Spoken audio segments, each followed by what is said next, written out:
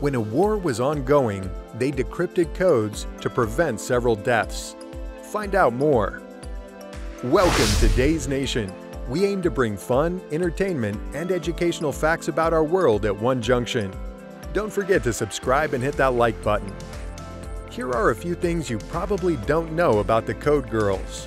When Richard Feynman was chosen as one of the nation's most talented physicists to work on the Manhattan Project in a secret laboratory in Los Alamos during World War II, his young wife Arline was writing him love letters in code from her deathbed. While Arline was only enjoying the challenge of evading the censors at the laboratory's intelligence office, thousands of women were employed by the government as cryptographers. In Code Girls, Liza Mundy narrates their story. It is as brave and interesting and untold as the stories of the Harvard computers, who changed astronomy in the 19th century, and the black women mathematicians who propelled space research in the 20th century.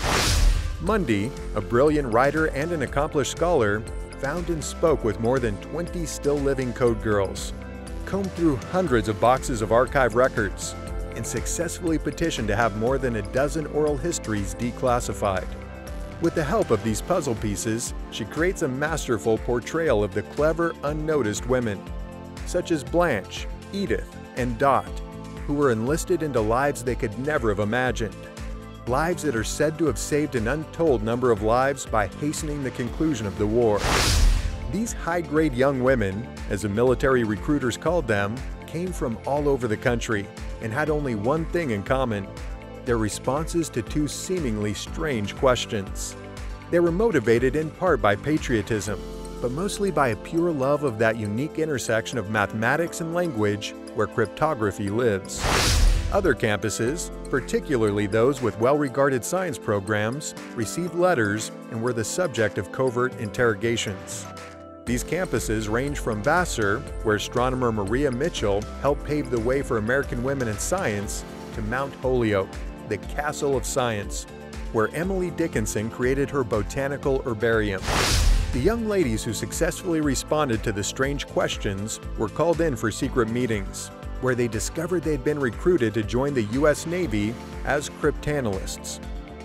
After graduating, they were to begin code-breaking training, and if they passed, they would work for the Navy as civilians. They were unable to share the appointment with anybody, including their parents, girlfriends, and fiancés.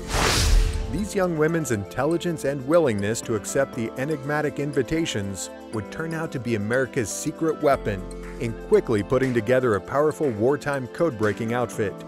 They would also offer an alternative conception of genius, one more in line with the relational brilliance that sustains a forest.